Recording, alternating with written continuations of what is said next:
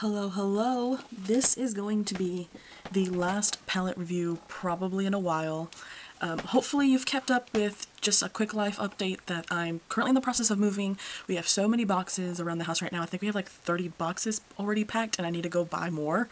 Um, I haven't fully put away all my makeup yet, but I need to start boxing up all my makeup. So this is the last uh, palette review you'll see in a while until I possibly get settled down. Um, hopefully there'll still be some shorts that I can keep up with, but this is the last palette and I'm so happy that, you know, this is I got distracted, I'm sorry. So, anyways, I'm really excited that I was able to do this palette last because I was so surprised by this palette. This is the Huda Beauty Rose Quartz palette. I think it's been out for about a year now. Just very simplistic kind of packaging, and I'm sure I'm sure everyone has seen this palette because I think it did cause some waves when it first came out. You can see all the ingredients here on the back, and this is a very pink palette. So I was interested because I saw this in person, I think at a Sephora, and I did not expect it to be so beautiful in person. So when I saw it in person at the Sephora, I was like, whoa, I feel like I have to get that palette. Even though it's a palette I usually would have just ignored. I did get this palette, um, I think I might have even gotten it on sale, but let me check that out. So it looks like I was able to get this palette for $41.40, which I'm pretty sure is a sale price. I think this usually runs for more than $60, maybe even like $69. I'm sorry, I can't remember the price exactly, but I definitely got a deal on this for $40. It is so pretty on the outside. I love the design. It is so unique. You will not... It, it makes it so distinguishable. You cannot like think this is any other palette. Palette does lay flat, so that's very nice. It also, um, I think holds. Oh no, it doesn't. It doesn't really hold, so actually it does not. But it does lay flat, so that makes it, I think, very easy to hold in your hands or laid on the um, table. There is a mirror in here if you're interested in a mirror. And this is the actual palette. And I think looking at the outside, you expect this palette to be a completely just kind of pink fantasy. And in a lot of ways it is, but it's really not. There is so much variety in this palette than I was ever expecting. There are so many looks I created from this palette I did not think I was going to make. I was trying to make a pink look and I ended up with a purple look. Like, there's so much variety in here, way more than I was expecting. These kind of like flaky, sparkly duochromes are absolutely amazing and completely elevated the looks.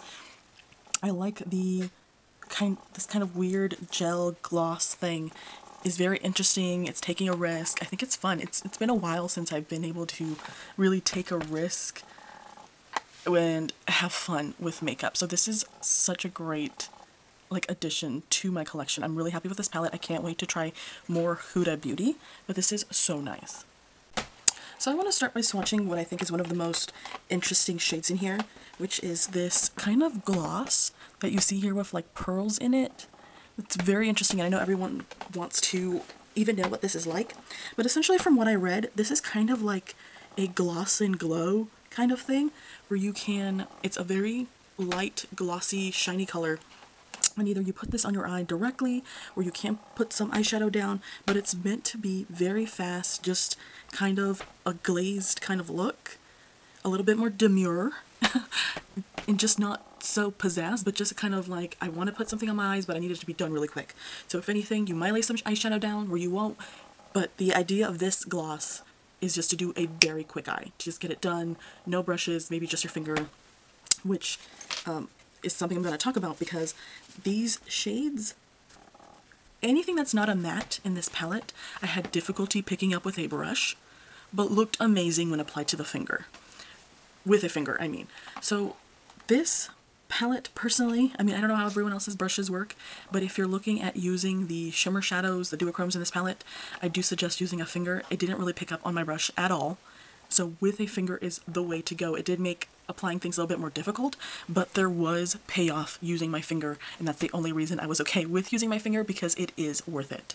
Another thing about this palette is that we have, I would say it is these three that are kind they basically duochromes, and they are amazing. You saw you recently saw me doing some shorts with some of these eye looks from this palette, and I do show off the palette, and they are so stunning. A shade like this and I, have said this before, I absolutely adore a kind of brown red base with a blue shimmer. So pretty. This to me is the true like cotton candy palette.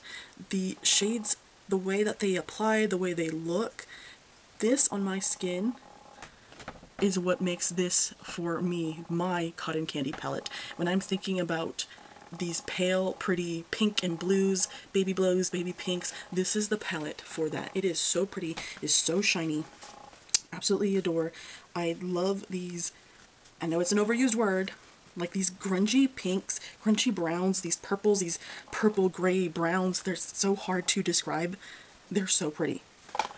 I think these marbled shades here were a little bit more uh, subdued. So a little bit disappointing, but not not too awfully so. They're still pretty. They're more kind of like metallics.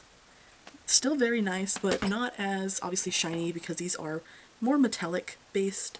So if you don't want a super shimmery eye, you can still get some light pink shimmers and that's just part of that as well. You can definitely see how these are more metallic and these are just balls to the wall shimmer. So freaking pretty.